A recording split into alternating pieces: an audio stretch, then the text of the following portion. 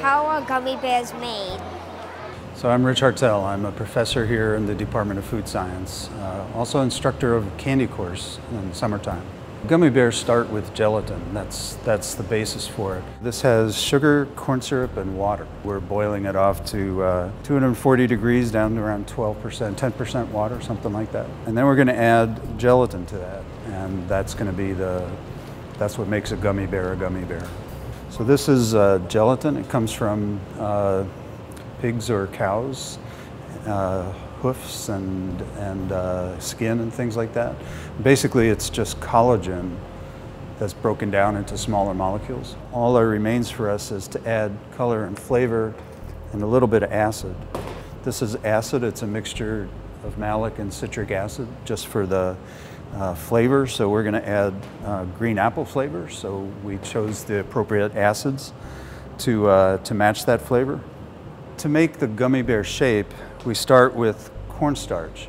So what we're going to do is make the gummy bear shape with this press board into the starch, and then we're going to fill those holes with the candy.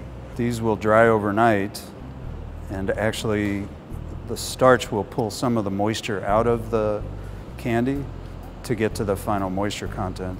Plus the gelatin, once it cools, will turn into a gel. And the end result is a gummy bear. So if you put a gummy bear in a, in a microwave and warm it for 10 seconds, it shows one of the interesting properties of gelatin, which is it's thermoreversible. If you warm it back up above its melting point, it goes back to being a liquid. The gummy bear flows, and then when it cools back down again, it resets, but not as a bear, just as a puddle. Based on the chemical nature of the, the gelatin molecule. So the end of those protein strands when they, when they gel, they form this triple, triple helix thing, uh, as opposed to another tighter type of uh, bond like you might find in starch and pectin.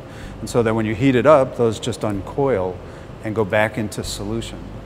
And so you go back to being a liquid phase, and then when you cool it down again, it forms that triple junction zone again and becomes the squishy gummy bear that, uh, that we just made.